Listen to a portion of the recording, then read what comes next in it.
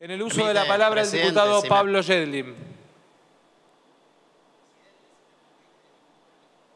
Venimos a votar y apoyar esta ampliación del presupuesto 2019 que definitivamente era necesaria, sobre todo eh, en algunas áreas del gobierno que tienen que ver con la atención de la pandemia, las compras por el Ministerio de Salud, de los test diagnósticos, de los respiradores, la ampliación de camas en todo el país, eh, la, apertura de hospitales eh, modulares, la apertura de hospitales, inclusive en la provincia de Buenos Aires,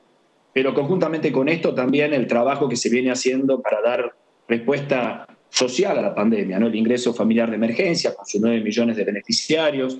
el, apoyo a los comerciantes y empresarios para el pago de salarios de a través de los ATP de casi 2 millones y medio de beneficiarios, los 600 mil créditos a tasa cero, los créditos a tasa de 24% fija del Banco Nación,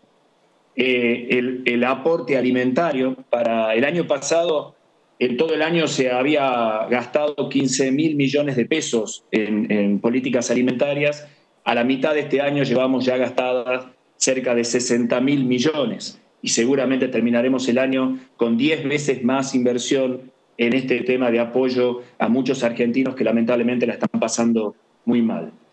Pero Nobleza Obliga también tenemos que decir que hemos notado algunos signos muy positivos, por lo menos en la provincia de Tucumán. Obviamente que aquellos eh, ciudadanos de la ciudad autónoma de Buenos Aires por ahí no lo notan, pero nosotros hemos notado en estos últimos tiempos un aumento en la obra pública, más de 10 mil millones de pesos en obra pública, 2.300 millones para el municipio de San Miguel de Tucumán, que hoy ya se mencionó acá, para obras de agua potable, 1.080 millones para el, Plan Argentina ACE, 5.000 millones del BID para una obra enorme de cloacas para los municipios de Alderete, Banda, Río Salí y San Andrés,